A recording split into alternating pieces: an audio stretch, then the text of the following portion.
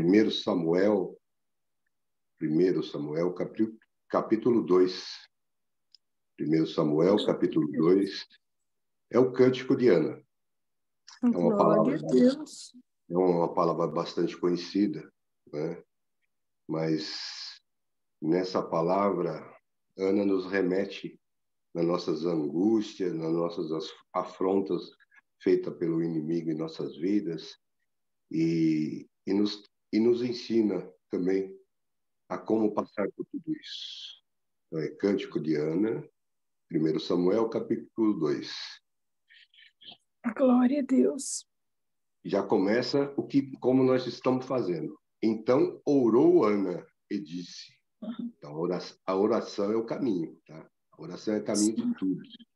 A oração é, é onde nós vamos conseguir vencer aí, passar todo por todas as tribulações, todas as provas que aqui nós estamos passando na presença de Deus. Então orou Ana e disse: O meu coração exulta no Senhor, o meu poder está exaltado no Senhor.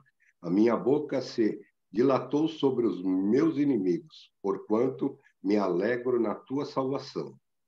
Não há santo como é o Senhor, porque não há outro fora de ti. Rocha nenhuma há como nosso Deus.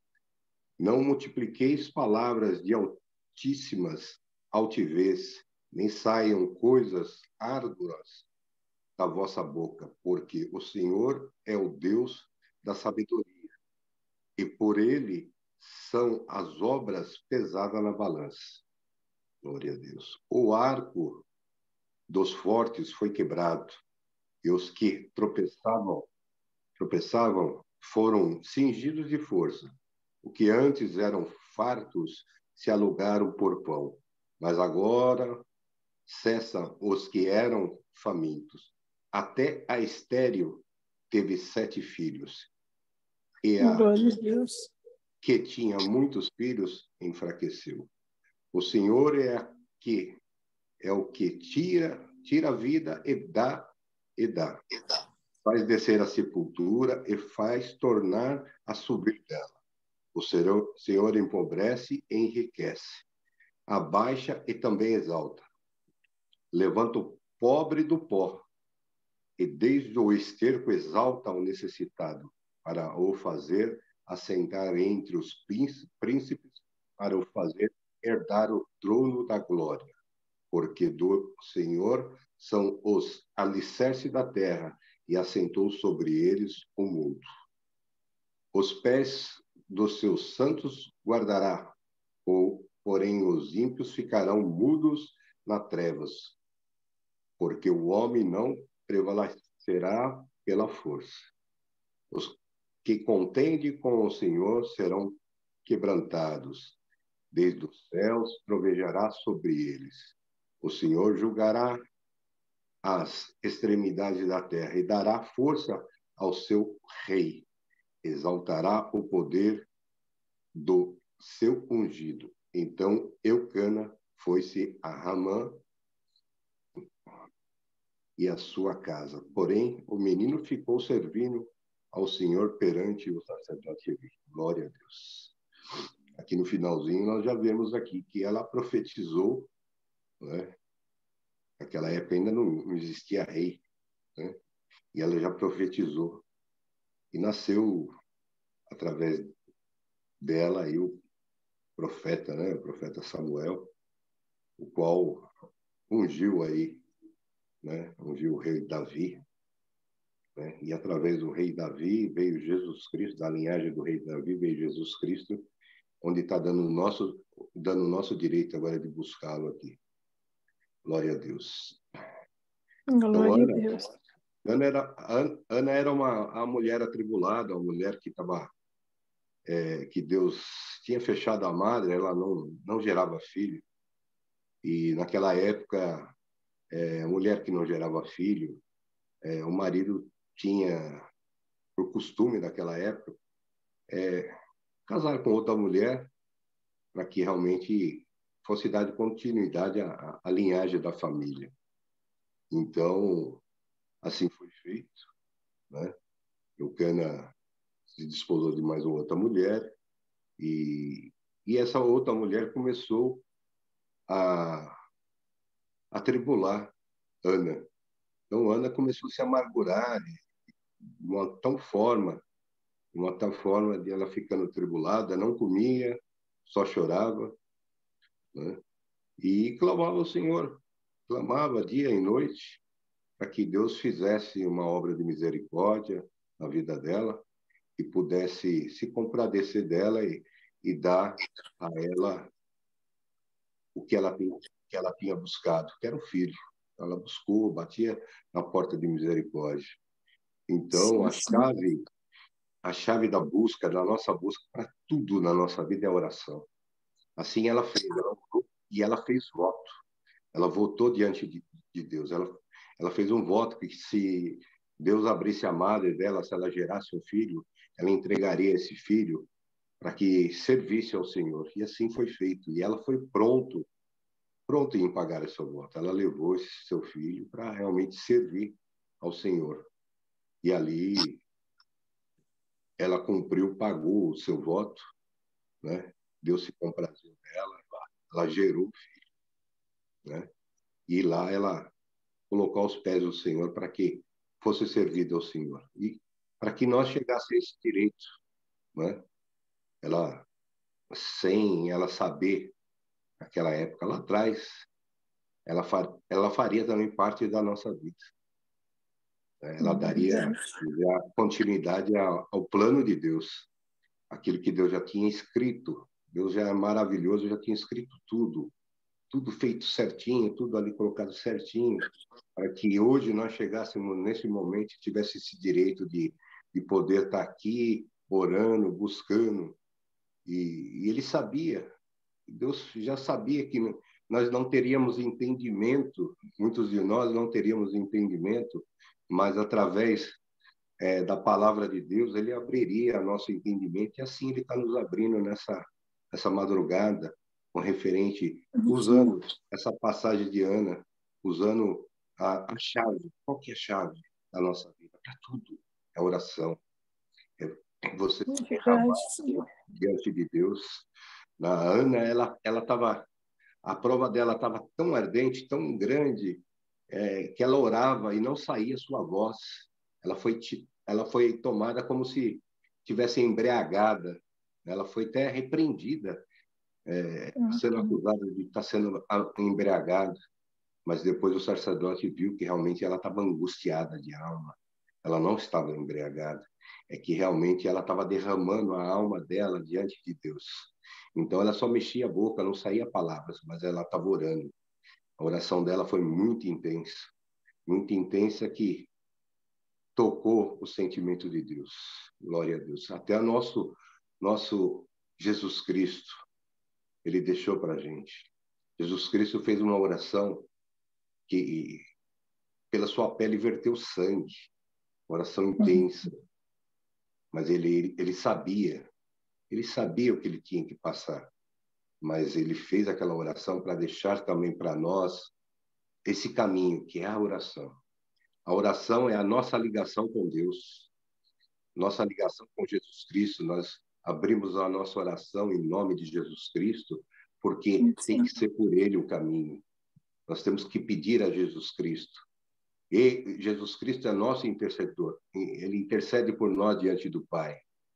Não adianta nós é, dobrarmos nossos joelhos e, e querer falar direto com Deus. Deus ele está ouvindo, sim, mas Deus, na sua infinita bondade, ele deu esse mundo ao seu filho amado, tanto que ele veio, caminhou, se entregou no duro madeiro da cruz por amor de nós. Então, esse mundo pertence a Deus, mas foi dado a Jesus Cristo para que Jesus Cristo fosse e está sendo nosso intercessor. Então, nós temos que saber direcionar nossos pedidos, nossas, nossas petições a Jesus Cristo e pedir. Pedir com fé, fazer igual a Ana fez. Ela orou, pediu, bateu na porta de misericórdia de Deus e pediu com fé, justamente para alcançar de Deus a misericórdia. E Deus se comprazeu. a oração de Ana. Uma oração bonita que ela fez, mas ali Deus abriu a madre dela e concedeu a sua petição. E na petição dela foi a, a de gerar filho. E gerou, gerou o profeta Samuel, né? Gerou o profeta Samuel, onde ele viria lá na frente ungir os primeiros reis, né? Seria aí o rei Saul, né? Depois o rei Davi, onde através da linhagem do, do rei Davi, a família de rei Davi, veio Jesus Cristo. Glória a Deus. Então, que Deus Deus nos nos mostra nessa madrugada perseverança na oração. Devemos orar, pedir, mas pedir corretamente, acertado diante de Deus, pedir para o nosso Pai Jesus Cristo, orando, clamando a Ele, derramando o nosso coração, derramando nossa alma, nossa petição. Ela tá, a Ana era tão atribulada que não saía voz alguma de sua boca, mas é o Deus que ouve o nosso coração, ouve na nossa alma. Muitas das vezes você, devido à correria da vida, você está ali, vai para cá, vem para lá, mas você tem condições de elevar seu pensamento aos céus, mesmo estando fazendo alguma coisa, você pode ali clamar por dentro a Deus, ele vai te ouvir, ele ouviu Ana. Ana não, não, não saía a palavra da boca dela, ela orou com a alma, com o coração. E assim que, assim que Deus quer que nós façamos, que nós realmente oramos com a nossa alma. que nossa carne, nossa carne ela quer tanta coisa, Muita coisa a nossa carne ela quer. Mas a nossa alma, ela, ela quer o quê? Ela quer a salvação. Somente isso. A nossa, a nossa alma ela só anseia pela salvação. É mister na presença de Deus aquilo, aquilo que nós estamos pedindo, aquilo que nós estamos passando, porque ele, ele do, da sua infinita bondade, ele criou tudo perfeito. Ele fez as estações do tempo para deixar para nós é, um modelo de vida. Vem o frio, vem a chuva, vem o calor, vem o outono, as, as folhas caem. Então, existe o tempo para você passar tudo. Assim, na natureza, ele deixou também. A própria lua tem a, a lua cheia, a lua minguante, e, e, ela tem uma influência na, na, na, nas plantações. Então, ela, Deus ele, ele deixou para nós como modelo a sua própria natureza. Então, é, chegou o frio, nós vamos ter que colocar brusa, enfim. E assim na nossa vida espiritual, na nossa vida diária, chega as estações. Chegou o tempo de você chorar, chegou o tempo de você sorrir e vai chegar o tempo de você cantar também. Então, Deus ele está nos ensinando que não tem outro caminho a não ser a nossa oração, oração sincera, de coração quebrantado na presença Glória de Deus, Deus, para que Ele possa realmente atender o nosso pedido. Então, Deus hoje está falando conosco nessa maneira, que Ele quer que a gente busque, busque de, de, de alma, de coração, e Ele está se agradando desse propósito, desde o início desse propósito. Ele tem batido na oração, tanto que aqui é feito a oração. É, a salinha de amor de Jesus Cristo foi alicerçada diante da oração. Então, de, por verdade, isso Deus está operando dentro dessas petições, dessas buscas. Então, é feito orações, existe a palavra, existe sim, a palavra alimenta a nossa alma, fala com a nossa alma, mas a base de tudo, dessa linha do amor de Jesus Cristo, é a oração, a busca, né? ajudar o próximo na oração. Se a gente não pode ajudar com a nossa mão, a gente ajuda em oração, a gente clama, a gente ajuda a, a Irmandade na oração e Deus tem se agradado. Nós temos visto obras, temos visto milagres, né? É, até hoje eu não esqueço daquela criança, né? Que, se não me falha a memória, ela tinha um problema aí de, de autismo e começou a falar, né? Foi sim, dentro, sim. Da, dentro do propósito de Deus, dentro das orações pelos autistas, é, dentro do, das orações foi foi feito orações, foi feito busca e nós vimos milagre, nós contemplamos milagre. Então Deus está aqui, Ele está pronto em atender nossas orações. Então, vamos clamar a Deus, vamos pedir da forma correta, vamos falar com nosso Pai Jesus Cristo, porque através dele nós vamos alcançar a sua misericórdia, alcançar a, a, a, as nossas petições. Cada um de nós entramos aqui de uma maneira nessa, nessa madrugada. Né? Uns, uns clamam por enfermidade, outros clamam por porta de emprego, outros clamam pelos filhos, que é final de semana. É, enfim, cada um tem um, um, uma petição diante da tua presença, mas Deus, ele, a infinita bondade, ele quer que nessa madrugada e nós nos deu essa oportunidade de estarmos aqui diante da presença dele ele está aqui no nosso meio, o Espírito Santo de Deus está aqui ao nosso lado, está aí do seu lado, e ele, ele quer ouvir da sua boca, da boca da alma, tá? Da sua boca da alma, você se derramar diante dele para que ele te dê a sua vitória nas suas mãos. Glória a Deus, aleluia. Glória a Deus, sim. Então, é, Deus ele pede ele pede para que nós clamemos, nós oremos, nós busquemos da maneira correta, através do nosso Jesus Cristo, aquele que se entregou por nós. Né? Ele deixou um legado de amor, começo ao fim do seu ministério, como homem carnal aqui na terra. Só houve amor. Ele pregou somente o amor.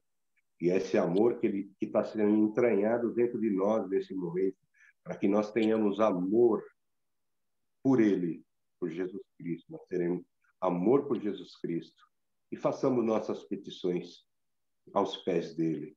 E com certeza nós veremos milagres, nós contemplaremos vitórias na nossa vida, tudo aquilo que está passando na sua vida, ele dará força para você continuar e te dará a vitória também. Vai chegar o tempo de você cantar igual igual Ana cantou, abraçou a vitória dela. Na, na nossa vida não é diferente, mas ela deixou escrito aí, foi deixado escrito. Como nós temos que fazer? É orando, é buscando. É só assim que nós vamos conseguir. Não existe outra maneira. Não adianta eu pedir é, por vocês, mas você tem que exercitar a sua petição. A alma é sua. Você que vai dar conta da sua própria alma. Então, peça. Usa a sua alma, o direito que foi te dado de bater na porta de misericórdia, de pedir. Peça com, com fé, derrama sua alma. Se não tiver palavras, dobra seus joelhos, assim como a Ana. Ela não tinha mais palavras, tão atribulada que ela estava, ela dobrou o joelho, mas Deus, ela, Deus viu o coração dela. Deus ouviu o que ela estava a alma dela estava clamando e deu a vitória para ela assim é na Glória nossa a Deus. Glória a Deus. Então vamos buscar a, a face de Deus em orações para que realmente Deus ele venha com seu poder e glória e possa realmente atender nossas petições, assim como fez na vida de Ana. Né? Estamos aí com mais de 100 conexões aí na, na plataforma do YouTube de irmãos e irmãs, clamando pela misericórdia, e nós temos fé. E nessa, nessa madrugada, Deus já está ouvindo o nosso clamor, está ouvindo as nossas petições, e Ele será pronto, Ele será pronto em nos atender, em nos ajudar nas nossas tribulações, nas nossas provas, nas nossas lutas. Então, busquemos a face de Deus na oração, em nome de Jesus Cristo. Amém. Amém. Glória a Deus. Aleluia, Senhor.